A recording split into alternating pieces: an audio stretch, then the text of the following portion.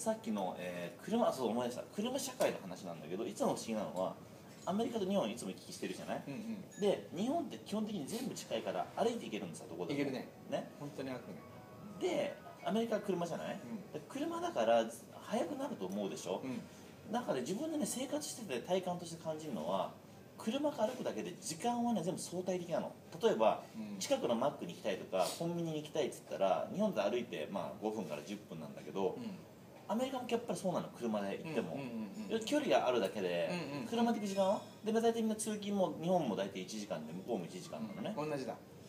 て考えスーパーもみんなそうなんだけど、うんうん。だから歩くか車かの違うんだけど結果的にうん。費やす時間ってあまり変わらないんだようね、ん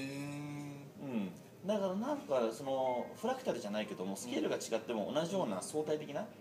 相関関係が見られるっていうのは。そういうことで言うとね、うん。この間記事で面白いなと思ったのはアメリカでも車が売れなくなった、ネットのせいみたいに書いてあったわけ、うんうんうんあの本当かどうかわかんないんだけど、うん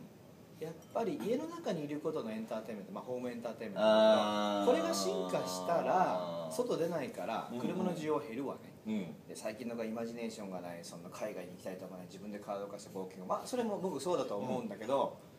そうじゃないようにしたのは大人でね。うんうんはいはいはだって映画館行かなくても VHS で借りてみましょうとかさ、音楽もなんか庭にオーケストラ呼んで、うん。パトロンが19世紀でやらなくても、うウォークマンで歩きながら来ますよとかさ、全部もう身の前でできるようにもうミニマイズしちゃったんだねエンターテインメント。でその成果が出たのが引きこもりよ、いはいはいは引きこもんなって言ったって引きこもれって大人がマーケティングずーっと30年ぐらいしてきたわけ、いはいうんうん。家の中楽しいよと、うんプレステもあるしさと、うんうん。やってきて出なくなったら困ったね